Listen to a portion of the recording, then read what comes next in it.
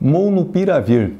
Você já ouviu falar desse remédio? O novo remédio da Merck Sharp Dohme, da, na MSD, foi lançado para redução de carga viral da Covid.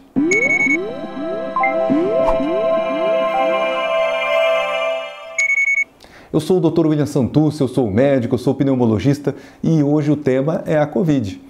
Você que está aí saindo dessas festas de fim de ano, com esse aumento do número de casos, tanto de influenza como de Covid, sabia que tem remédio? A Anvisa liberou, agora, final do ano de 2022, acabou de liberar um novo medicamento para tratamento da Covid. Está tá licenciado e já está disponível na, em algumas farmácias. Né? O preço são altos, de quase dois mil reais, algumas farmácias variando aí de 1.700 a um pouco mais de dois mil reais e é indicado para o uso em imunossuprimidos e idosos que têm risco de desenvolver formas graves da Covid.